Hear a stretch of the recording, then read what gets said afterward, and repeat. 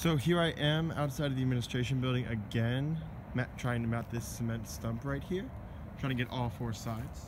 Here we have my LiDAR sensors that we have seen before. Here's my phone for the IMU angle that I need. Here's the camera up top, my laser down below. It's all sitting on this tripod.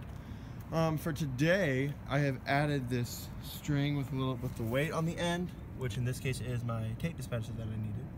Um, this is just to give me a spot on the ground to give me a distance from the stump that I can measure and use because I am taking data from four different spots marked by four different things. So there's one off over here. You can see here's my next side that I marked from.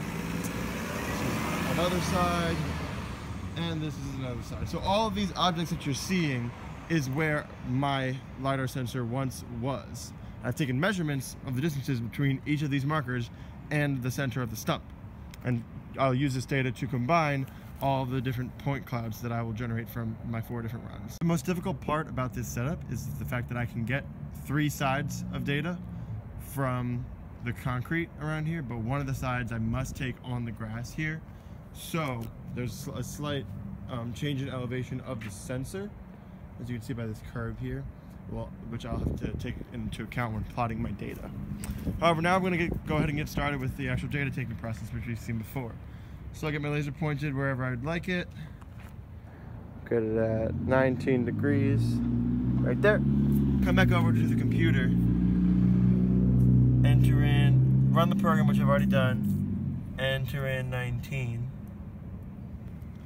Let it sit there and run. And in here, we'll see 19, excuse me, 19.jpg. And now here you can see the picture that it is taken with the laser on the cement stump.